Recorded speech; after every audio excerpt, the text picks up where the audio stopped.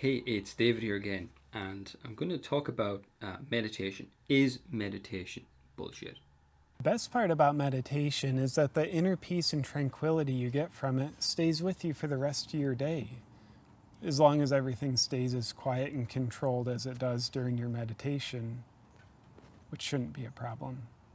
Well, um, is meditation bullshit? Well, yes and no. Yes and no. The problem with meditation is that people have expectations about what it is and what it's going to do for them. Okay, so I see an awful lot of people online talking about, oh, here is my plan for meditation, and I'm going to meditate for this long, uh, for, for the next few weeks or months.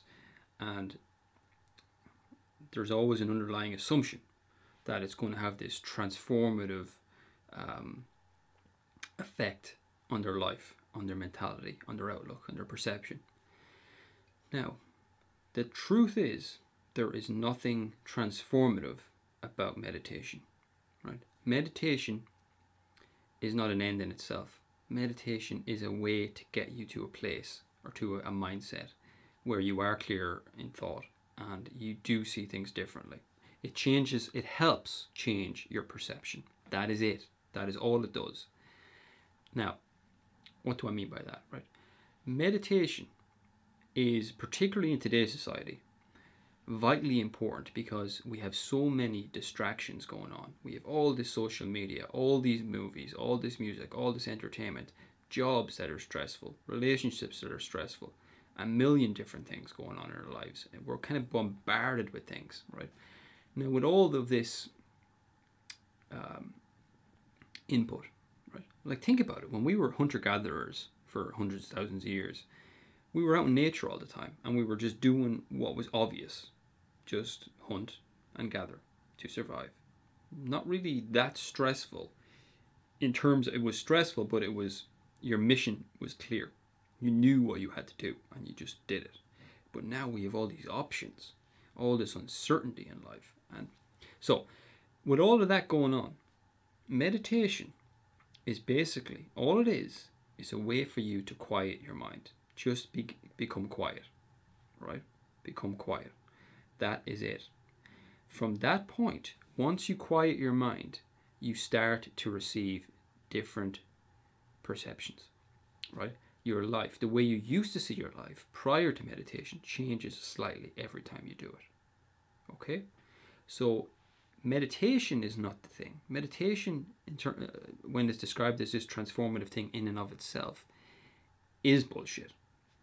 But meditation will bring you to a place where you can start to perceive things differently, right? And you will start to look at things in your life in a different way. You start to see things that upset you before slightly differently. That is what transformation is all about. It's all about changes in perception, the way you think about things. Okay, so it's through that that you change, you grow, um, your life becomes easier and more enjoyable, and you become more useful as a person um, you're more effective in what you do and you know what you need to do. So, where does that leave us in terms of what should I do meditation? Yes, okay, do meditation, um, but don't make it a chore for yourself. Okay, meditation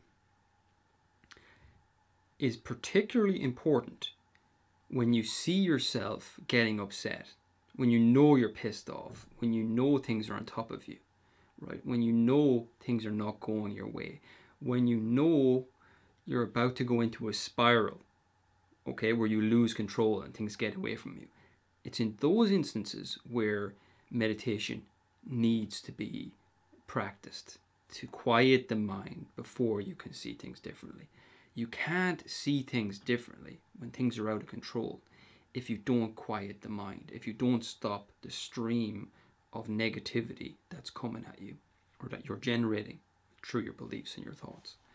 So do meditation. Don't make a chore of it. Do it regularly and don't don't don't do this thing like I see an awful lot of people doing. Um, you have to meditate for half an hour a day. You have to. I, I meditate for two hours a day, so I'm really good? Just think of think of it as maybe a couple times a day. I'm going to be still for a moment and just see where that stillness takes you sit in that for as long as you feel necessary. Um, and that's it. There's no big secret to it. Okay, it's not gonna, you know, you're not gonna uh, start seeing visions. I'm sorry to tell you, you're not gonna start seeing visions. It's about your life. It's about the day to day stuff that's going on in your life, and that is what life is all about. It's that's what it's all about. Okay, so let me know what you think about this. Um, and uh, this might annoy a few people. Uh, but you know there is a use for meditation but uh, it's not this voodoo magic thing that people think it is so that's my thoughts on it guys and uh, i will talk to you again soon